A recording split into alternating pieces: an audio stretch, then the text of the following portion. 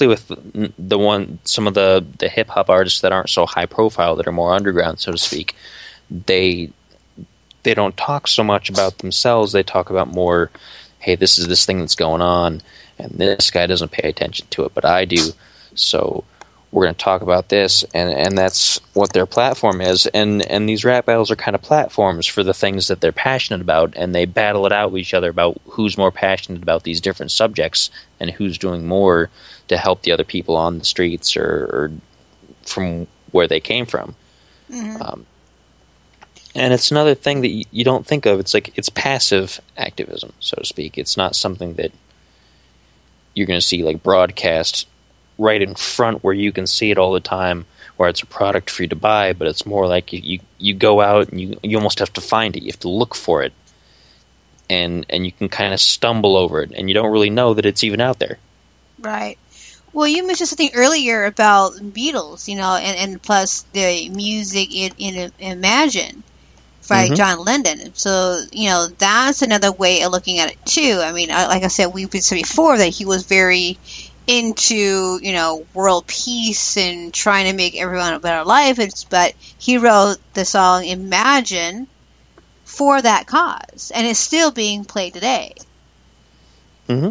And even even the album that that song came from, um, it was called uh, "Sometime in New York City." Um, the entire album was was about was about this this the politics that he believed in, and and about peace and about social justice, and so many things that that you wouldn't expect necessarily to be present in music, and even the Beatles as a whole before they all broke up, the Beatles as a band later in their career were were banned from a lot of the the Soviet countries um, because of their music, because their music was seen in those countries as as subversive. It was promoting values that those countries didn't want in their country, and the Beatles were just, you know, they just wanted to spread peace and love, that kind of thing, you know, and they didn't see these things as subversive. And it wasn't until after they broke up that that John Lennon kind of thought more that yeah, this is kind of subversive, and but it's a good subversive. If you get people thinking about peace and thinking about love and you really get them to really focus on these things. So it's kind of like a activism in a sense of like passive activism but but really kind of like subtle kind of just sneaking it in there behind music that might not sound necessarily like it's like it's very aggressively pushing for a cause. But once you get in there once you let it kind of seep in a little bit Right. Yeah. And and when, when musicians can do kind of that, it's kind of they're doing it kind of uh, an intelligent kind of way, kind of sneaking it out in, so people want want aware of it. And then when it happens, you're kind of thinking about it. That song, like walking down the road or you're driving, you're thinking about that song. They're like, "Hey, yeah, that's got you thinking," and mm-hmm. that's basically what it's for. Yeah, and, and a lot of that happens. And even going back to something I said much earlier in the show, you have you have quite the opposite that happens too. Like you have a, a big artist like Toby Keith, the country artist, who's very patriotic, and he says, "Hey, you know, these terrorists or these so and so came over here, and we're going to go over there, and we're going to show them who's boss, and you know, all these things." And it's the same kind of thing. It's still activism on on the other end, on the other end of the scale. It's just more more brusque, more aggressive, more hey, I'm I'm proud of this and I'm proud of that and I'm going to tell you why and we're going to do this. Let's go do this now. Let's go do this thing and let's all be glad about it and and whether you agree with it or not, it's it's it's sounds positive on on the surface. Mm-hmm. No, it could, could come could come across positive. Mm-hmm. Another place people who are not familiar with that kind of behavior could possibly be aggressive. Mm-hmm. And it's not necessarily even pushing for let's go and start a bunch of wars. It's just hey, let's let's go defend this. Let's defend our freedom. Let's defend this that we have because it's being threatened. And and so activism, it, it it's a tough thing. It's it it exists pretty much everywhere right now the way Mhm. that society is, and and it's hard to say what's good and what's not. It's it's just difficult. There's so many causes out there to choose between, and and it's easy to pick one that might not be very helpful, and it's sometimes difficult to pick the ones that that would really make a big difference. Yeah, for sure. Yeah. Um, that's a very good point. All right, guys. I'm gonna take a little a little break for a music break, and I'll be right back, right out of the rhythm, and made up my mind. Based here in Seattle.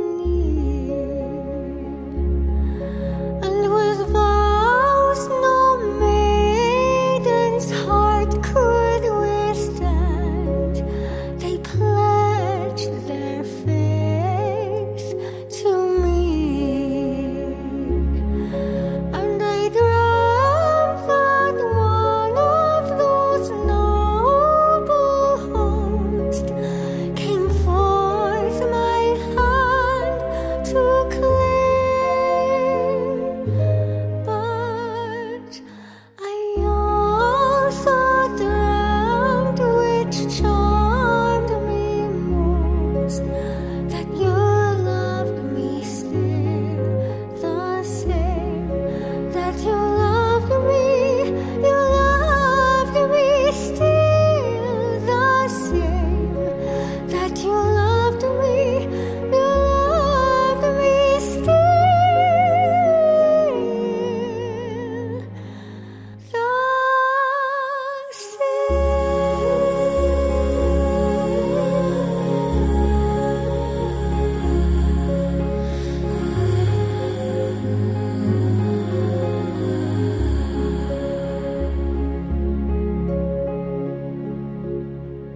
Join us April 13th on Let's Talk About the Music when the Action Adventure Circus Super Geek League will be talking everything geek. Find out why they are the most unique performance group in the Pacific Northwest.